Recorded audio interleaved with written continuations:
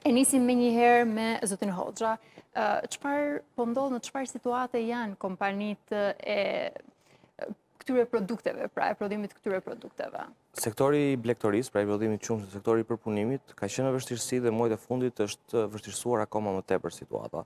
Konkretisht, kemi lëndët e para ushqimore të blegtorisë që janë shtuar, ndodhur nga post-Covid-i, po dhe nga situata e luftës, të cilat kanë bërë që tashmë lënda e parë e qumshit të ketë një kosto më të lartë për t'u prodhuar nga fermerët dhe fermat shqiptare, dhe normalisht, minimalisht kemi një rritje prej 25 deri 35-40% në total të lëndëve ushqimore, ka pastaj elementë të caktuar si misri apo soja, që çmimi është dyfishuar apo trefishuar, pra mund të ketë qenë 25-30 lekë, dhe ka shkuar tashmë në 65-70 apo 75 lekë për kilogram. Po flasim për elementë që janë baza e formulës ushqimore që përdoret nga blegtorët dhe fermerët tanë për të ushqyer kafshët e tyre. Ndërkohë problemi është që përveç lëndës së parë të shtrenjtuar, pra kostove që janë rritur për ta prodhuar atë, i gjithë zinxhiri i prodhimit nga marrja e lëndës së parë deri te produkti final në markete dhe supermarkete kanë pasur kosto të shtuara të veta.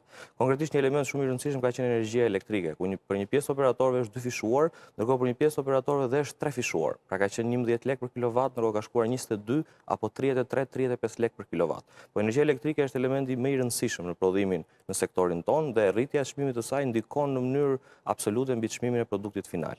Ndërkohë për fat të keq nga një korriku ne do të kemi dhe një taksë të re mbi gazin që është propozuar në paketën fiskale të vitit dy mijë e njëzet e dy që është gjashtë lekë për litër, e cila tashmë do të ndikojë përsëri në kostot tona totale të prodhimit. Gjithashtu duhet të mbajmë në konsideratë që çmimi i naftës cila është elementi kryesor i distribucionit te furgonat tanë frigoriferikë, me këtë rritje që ka shkaktuar, na e bën të pamundur të operojmë me kostot aktuale ku ne jemi duke funksionuar. Pra janë një tërësi elementesh të cilët kanë ndikuar në këtë situatë ku ne ndodhemi, për fat të keq, ndërhyrje nuk ka pasur si tek fermeri, ashtu dhe në sektorin tonë, pavarësisht se ne kemi muaj që kemi bërë kërkesa, kemi bërë sugjerime, kemi bërë propozime se si mund të zbutej kjo situatë, por që për fat të keq nuk ka pasë asnjë ndërhyrje. Sa përqind parashikohet kjo rritje? Faktikisht, çdo kompani përllogarit dhe vetë, në përgjithësi kostot, domethënë, ka pasë rritje të kostove nga 15 deri 25 dhe 30% në tërësi, domethënë. Ndërkohë pastaj, kompani të caktuara operojnë në fusha të ndryshme të produkteve të qumshit, të nënprodukteve të tij dhe kanë kosto të ndryshme dhe operojnë pastaj dhe me vendime të ndryshme, domethënë, për tregun final. Po që në tërësi, kjo është kosto e shtuar e sektorit.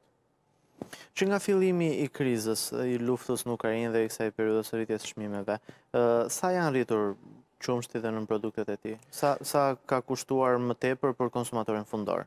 Ka pasur, domethënë kompani të ndryshme kanë operuar në forma të ndryshme sepse kanë sektorë të ndryshëm të tregut dhe produkte të ndryshme, por rritjet kanë variuar nga 5% deri në 15 18% për produktin e qumshit apo për nënproduktet e tjera të gamës. Dhe kjo rritje që pritet tani do të çojë në 35-20% nga çmimi fillestar një janar. Aktualisht domethënë është çmimi, domethënë kosto taksa e re e gazit, e cila do të shifet se si do të veprohet nga kompanitë përkatëse, nuk është se kalon një lajmërim për rritje të reja çmimesh, por është për t'u theksuar fakti që kostot janë shtuar dhe sektori do ta ketë të pamundur për t'i mbijetuar kësaj situate. Gjithsesi edhe rritjet do jenë sipas kompanive?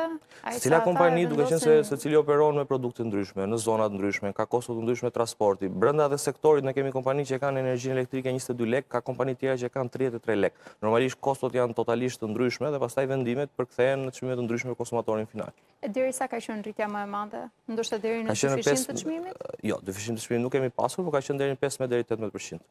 18% maksimale deri në këtë moment që flasim. Po për nënproduktet e qumshit, po flasim për nënproduktet e qumshit. Ndërkohë nëse nuk do të ketë ndërhyrje, pastaj kompanitë do të bëjnë llogaritë individuale të veta, domethënë, por ne shpresojmë që të paktën të ketë një ulje të çmimit të naftës, e cila do të ndikonte në përmisim të ose të paktën në mos rritje të mëtejshme. Zoti Muço po qesh kur ti përmende fjalën ulje se iu duk aq e pavend në këtë kohë të flasim për ulje. Për fat të keq, domethënë, në qoftë se për sektorin tonë nuk do të ketë një normalizim ose një ndërhyrje nga instancat përkatëse, ne do të jemi të pakonkurueshëm dhe jo të preferueshëm për konsumatorin final.